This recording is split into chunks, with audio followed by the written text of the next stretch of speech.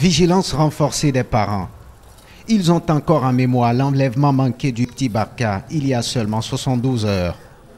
Comme une traînée de poudre, la nouvelle de cette tentative d'enlèvement a fait le tour des réseaux sociaux. Mes amis, priez pour que vos enfants vous reviennent chaque jour quand ils sortent pour aller à l'école. Cette invocation introduit le film d'enlèvement manqué du petit collégien Barca qui n'a que 10 ans.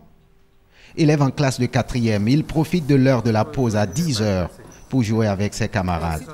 Connu pour son caractère méfiant et discret, Baka n'a pu échapper à l'appât de son ravisseur qui le remorque sur sa moto et le conduit dans un petit cafétéria. Suite au refus du petit de manger les différents plats qui lui ont été présentés, le ravisseur l'abandonne. Son père, sous le choc, l'accompagne à l'école ce mercredi matin. Avec beaucoup de consternation et c'est vrai, un peu de peur, mais bon, euh, voilà, c'est passé puisqu'il a fini par abandonner son forfait. Tristesse, émotion. La classe de Baka est très affectée. L'un des camarades de Baka qui l'aurait encouragé à répondre à l'invitation du ravisseur se sent coupable.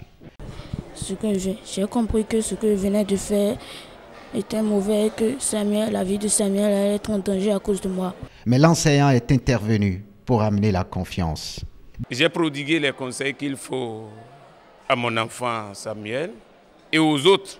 ils avaient peur, mais avec euh, tout ce que nous leur avons dit, ils sont remontés. Nous demandons aux parents d'élèves, surtout pour les petits-enfants, de venir eux-mêmes les chercher pour qu'on n'assiste plus à ce genre de choses nous demandons à toute la localité, lorsqu'il y a une personne suspecte, de nous avertir pour que nous puissions prendre les dispositions idoines pour empêcher ces enlèvements-là.